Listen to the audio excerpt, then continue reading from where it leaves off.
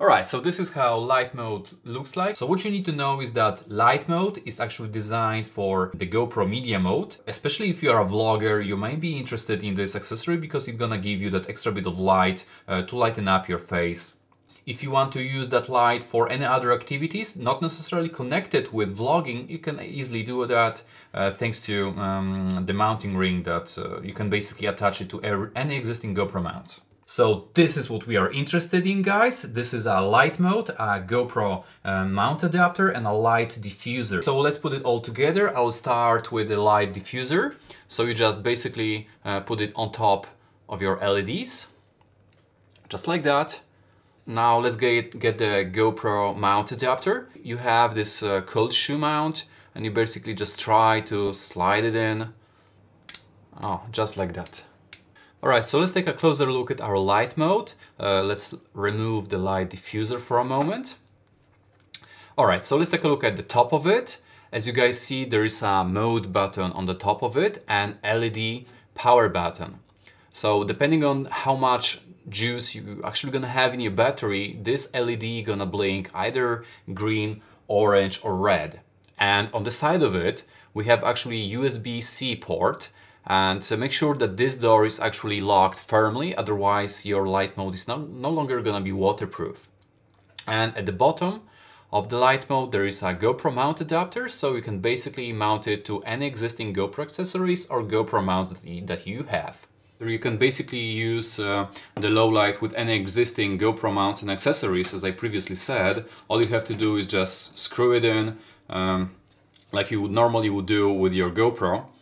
So you don't necessarily have to use it only for vlogging because uh, you can just uh, simply light up uh, whatever it is that you are doing. Maybe you can even uh, use it uh, whenever you are not gonna be actually recording anything specific with your GoPro. Alright guys, so let me show you how the Light Mod works. So I press it uh, once on the top of it, so we turn on our Light Mod. If we want to cycle through the modes, we just press it. we are in the level 2, we press it again, we are in the level 3, we press it again, and actually right now we are in the strobe mode, so that was our fourth click. If you want to quickly uh, turn it off, you double click and hold. Every of these levels gonna have their own strength and battery life.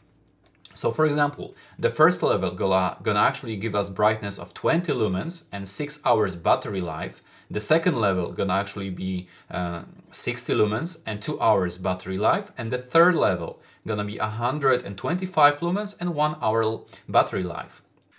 Right now we are recording with the level 1,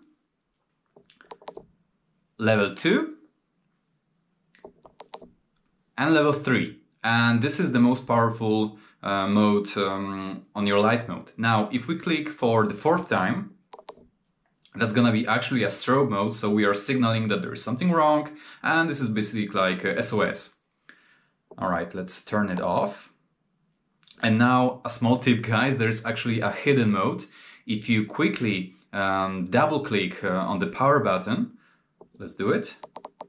This is actually even more stronger than the level 3 because uh, it gives us a, an output of 200 lumens, but the, the problem is that it lasts only 30 seconds. So if you are in a pinch, you can use it.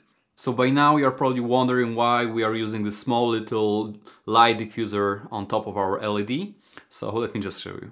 Alright guys, right now I'm recording this with the Light Mod with the light diffuser and now let me just remove uh, the light diffuser and just see how much of a difference it is if I just remove this one little um, diffusion from the light. So basically what's happening is that the shadows are much harsh, uh, much stronger on my face, uh, basically mm, this, the light is simply stronger and by just placing this light diffusion we just make everything look much more soft and natural.